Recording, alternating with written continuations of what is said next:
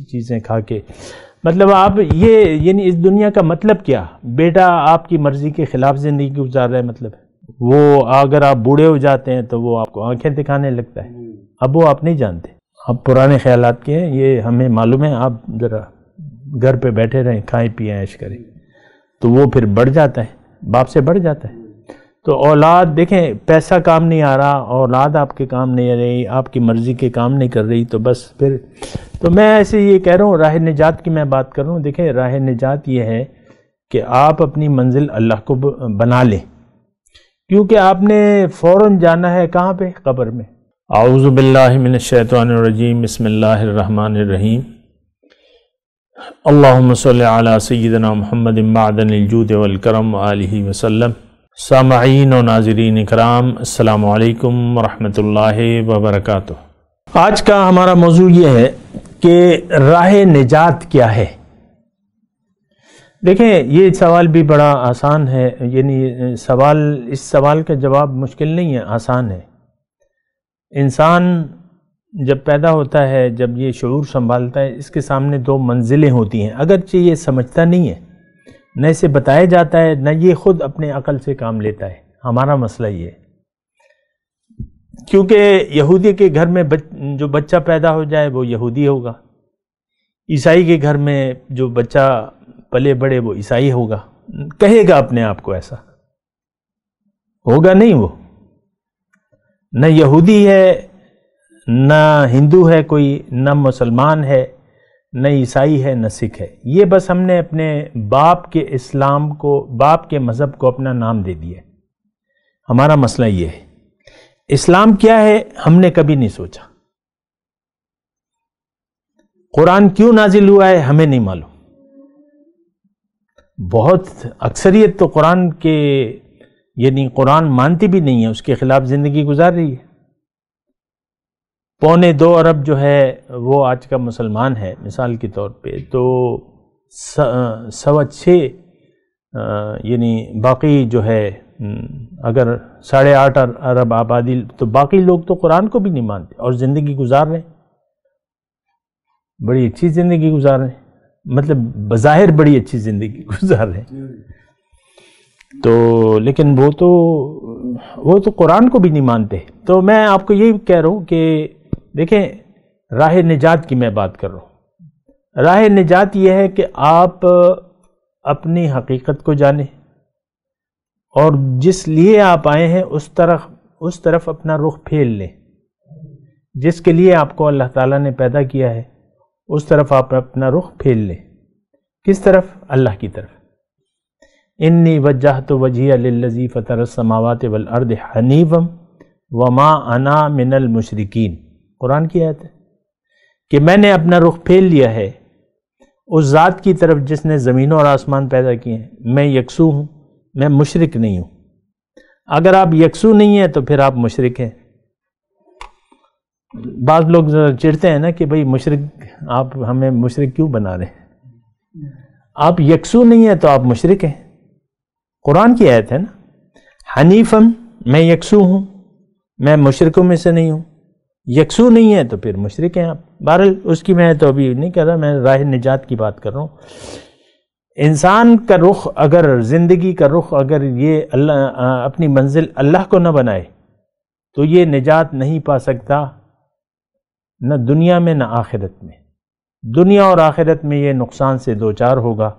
अल्लाह ताला ने लिख दिया है कुरान में, खसरत दुनिया वल आखिरा। दुनिया का भी नुकसान और आखिरत आपके पास अरबों रुपए पड़े हुए हैं, लेकिन आप उसको इस्तेमाल नहीं कर सकते। सिर्फ़ कागज़ के ढेर ही है ना, सिर्फ़ बैंक के खातों में है ना। डॉक्टर ने कहा है, भाई, तुमने घी नहीं खाना, तली हुई चीज़ें नहीं खानी। नमक मत इस्तेमाल करो ब्लड प्रेशर है ना। मीठा मत खाओ, वगैरह वगैरह। तो आप उबली हुई चीज़ें, चंद उबली हुई चीज़ें खा के मतलब आप ये, यानी इस दुनिया का मतलब क्या? बेटा आपकी मर्ज़ी के ख़िलाफ़ ज़िंदगी गुजार रहा है मतलब। वो अगर आप बूढ़े हो जाते हैं तो वो आपको आँखें दिखाने लगता है। अब वो आप नहीं जानते। अब पुराने ख्याल के हैं, ये हमें मालूम है, आप ज़रा घर पे बैठे रहें, खाएँ, पिए, ऐश करें तो वो फिर बढ़ जाता है, बाप से बढ़ जाता है। तो औलाद, देखें, पैसा काम नहीं आ रहा, औलाद आपके काम नहीं आ रही, आपकी मर्ज़ी के काम नहीं कर रही तो बस फिर तो मैं ऐसे ये कह रहा हूँ, राह निजात की मैं बात कर रहा हूँ। देखें, राह निजात ये है कि आप अपनी मंजिल अल्लाह को बना लें। क्योंकि आपने फ़ौर जाना है कहाँ पे? कब्र में। मौत तो है ना। और आपने मरना नहीं है। ये तो हमारा ये ख्याल है। मौत मौत मौत कहते हैं, मरना मरना नहीं है। आप सिर्फ़ मुंतकिल हो जाते हैं अपने असली घर। जहाँ से आप आए वहाँ वापस चले जाते हैं और आपकी एक ज़िंदगी शुरू हो जाती है, आगाज़ हो जाता है। हुजूर सल्लल्लाहु अलैहि वसल्लम फरमाते हैं कि लोग सोए हुए हैं। जब इनको मौत आएगी तो ये जाग जाएँगे। तो फिर तो आपको पता है कि ये फरिश्ते आते हैं, आपको रूह वापस कर देते हैं, हदीस का मफहम है उठा के बिठा देते हैं, फिर पूछते हैं, फिर सारे सवाल जवाब होते हैं। फिर जो है, आप यानी उसको, यानी मौत न काफिर के लिए है, किसी के लिए भी मौत नहीं है, ये बात नोट कर ले। सिर्फ़ यहाँ से इंतकाल है, मुंतकिल हो जाना है, अपने असली वतन, जिसको आप नहीं मानते इस वक्त। जिसे आप इस वक्त अपने अमल से नहीं मानते, कि मैंने दूसरी ज़िंदगी जीना है, वहाँ के लिए फ़िक्र करनी है, तैयारी करनी है। बहरहाल, मैं आपको राह निजात की बात कर रहा हूँ।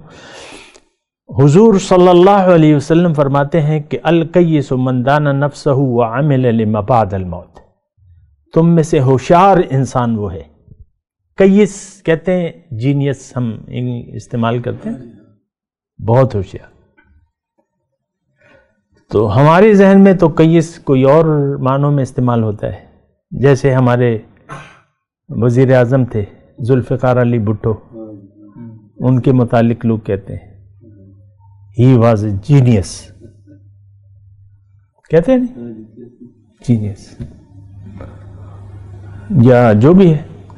तो हुजूर फरमाते हैं कि होशियार वो है जो मंदाना नफ्स हो, जो अपने आप को रोक ले। यानी अपने नफ्स को ख्वाहिशात से रोक ले। वह अमल बादल मौत।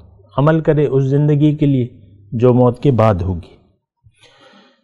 तो इंसान जो है, देखें, अगर आपकी मंजिल अल्लाह नहीं है तो अब आप अल्लाह के रास्ते पर चल नहीं सकते।